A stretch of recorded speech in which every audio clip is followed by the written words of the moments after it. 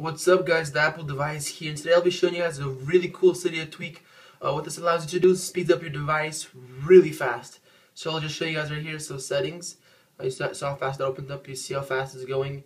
This is, it is iPhone 5, but it doesn't just work on the iPhone 5. It'll make your iPhone 4 feel like an iPhone 5, that's how fast it goes.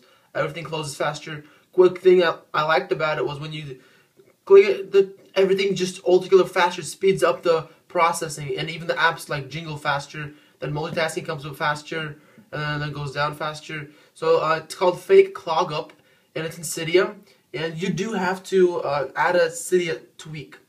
So you go to Manage Sources, and um, this one right here. Of all, there's a couple of them that have it. Repo.insanelyi.com and um, I know that cydia.xsellize.com has. I'll have the repo that that has this application down below in the link description. So okay, click search and let's search. Okay, wait, let it load. Uh, load. We'll focus it in. Okay, fake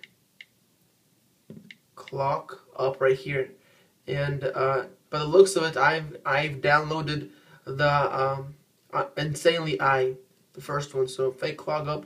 You guys should just go through, download, install it. Very nice. Um, it makes it really fast. I've noticed everything works faster. The loading on everything works faster. In the beginning, it work so fast that I'd open the app, it opens up too fast, and I'd hesitate to use the app because it opened too fast. So guys, check it out. I know you guys won't regret it. So, um, like I said, it's called Fake Clock Up. You can add uh, repo and um, Xsellize, which is right here. Xsellize repo or uh, the Insanely i repo. I'll have both um, repos in the links description. You guys will be able to pick one out if one of them gets removed off of a repo. You you have the other to download it from. At the current at the moment, they have two dash zero point two dash one version, and it seems like it works perfectly fine on iOS six point one.